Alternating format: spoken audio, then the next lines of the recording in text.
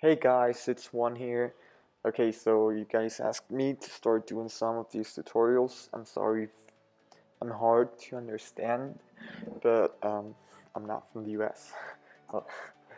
Okay, so first of all, uh, we're gonna start doing this edit. We're going. The first thing we're gonna do is um, change the temperature and oh yeah I forgot to mention I'm sorry my Lightroom is in Spanish. I'll try to change that if I do a second video. And okay so next. What we're gonna do is change the other part of the temperature. I don't know how it's called but it's like the green and uh, magenta. So we're just gonna change that.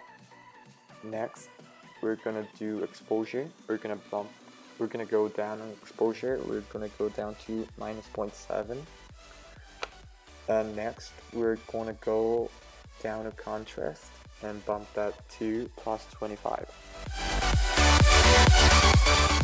okay so next we're gonna adjust highlights shadows and all that good stuff. We're gonna bump those highlights up to 1 those shadows up to 15, uh, the whites up to 33, and the blacks to 46. I mean, you can change this if you want. It's pretty much just to get the look that I wanted. Okay, so then we're gonna go to the next part and we're gonna change clarity. We're gonna bump clarity up to 12. Intensity, if that's how it's called, I'm sorry uh, up to 15 and saturation up to 2 okay so here comes one of the trickier parts. It's to edit the curves. Curves it's one of the trickiest but most important parts of the process. First we're gonna start on RGB this is what controls most of the highlights and shadows on the picture. You have like a lot of control so you have to be careful what I'm doing here is that I'm pulling down the highlights to like an offset. Uh, so the high, like the brightest point, it's not absolute white.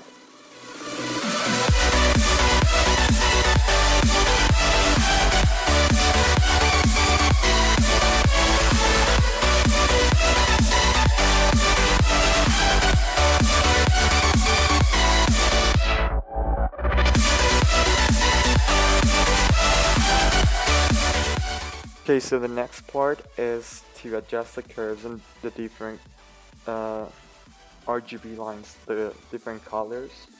And I start from red, then I go to green, and then I go to blue. I start from highlights, then to the shadows. And you have to be especially careful on these ones since they alter, they affect um, your different tones and your different highlights and shadows and the different colors. Um, you probably want to keep the same line on all three so it becomes a more neutral it can be. But you can go off it and you can try to make it more personal and more colorized if you want to. But I probably I kept it like very neutral just a little bit bluer if I can explain myself. Just keep watching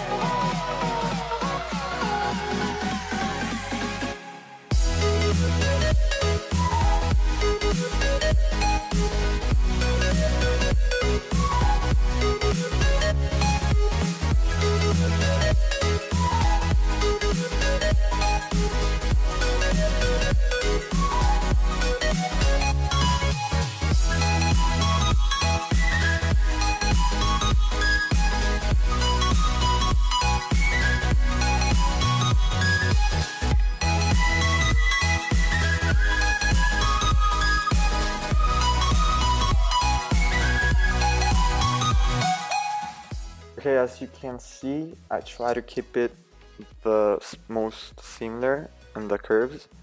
Okay, next I went down tones and I started adjusting them. On the reds I went down to minus 8, oranges minus 18, yellows 8, um, the greens 2, um, the blue thing, that one I kept it at 0, blue I went at minus 8, and the rest I kept at 0. Then I went to saturation, red minus 8, uh, orange minus 7, uh, yellow minus 17, green minus 23, blue, the blue one that's like kind of not blue, it's plus 8, the blue one is minus 36 because I felt it was like too much blue, but uh, whatever.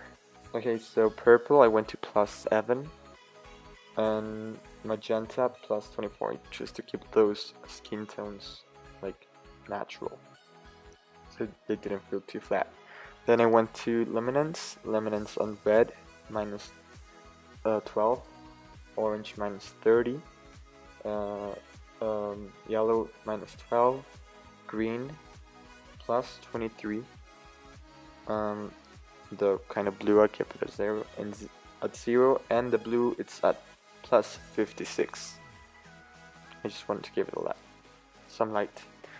And then I went to split toning. Split toning is really fun, but I had a little bit of trouble on this picture, as you'll see later. Uh, the highlights, I went to 39 on the tone and 6 on the sat, and minus 45 on the thing that keeps them in balance. On shadows, I went to 41 on tone and 15 on the saturation.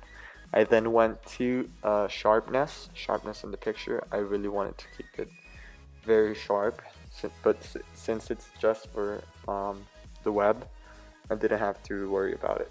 I just kept it at plus 79. I know it's too much, but I like it. Whatever. And then I fixed the vignetting on the picture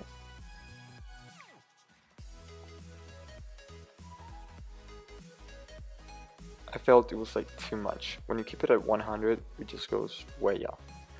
It blows out those shadows. So I pulled it back to 58. Next, I went to the uh, calibration. It's just like some fun stuff. I like doing this. So on the uh, the shadows, I went to plus five. The reds plus 40 on the tone and plus 4 on the sat.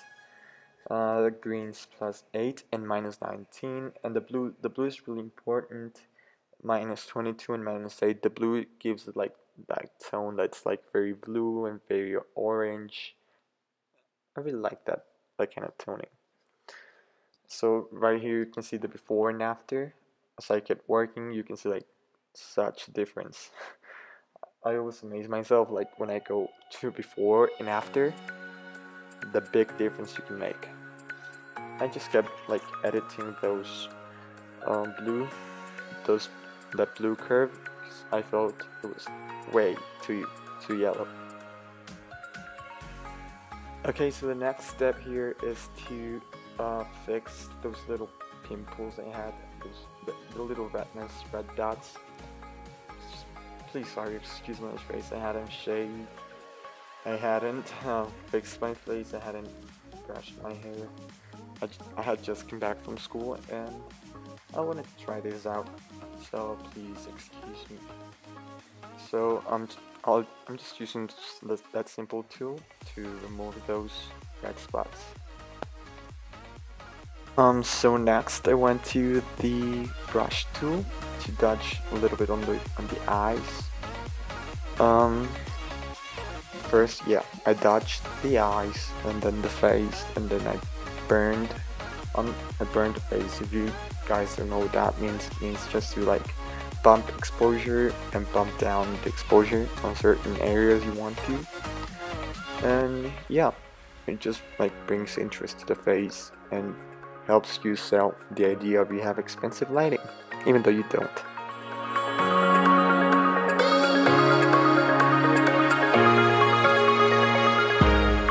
Okay, so the next step, it's really important. Uh, so you have to burn the background. So I just wanted to do that. Burn it, make it darker, um, and add a little bit of a cooler tone, if you know what I mean, to make it a little bit bluer. Um, so yeah, uh, to get that result, what I did was um, bump down the temperature to minus 23, exposure to minus 2.2, contrast to minus 1, highlights to minus 32, and shadows to minus 1.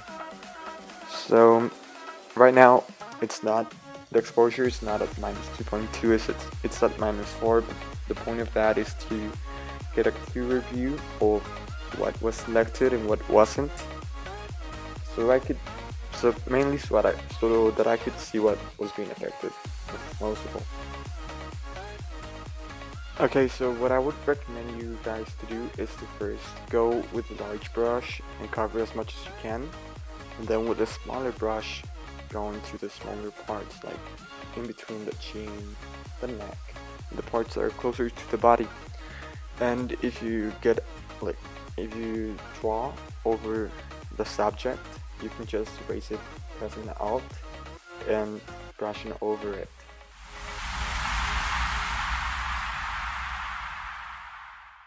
Okay so now using the uh, graduated filter we're gonna try to sail the lights a little bit better.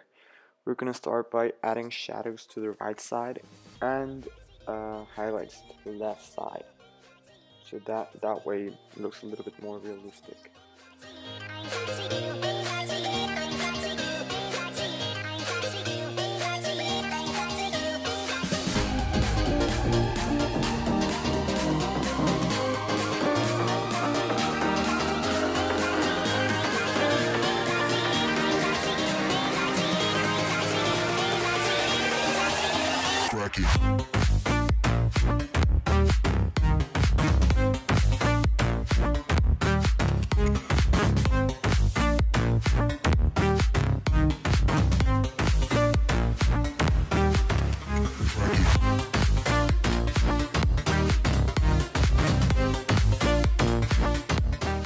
So pretty much at this point what I wanted to do is just check on the final touches.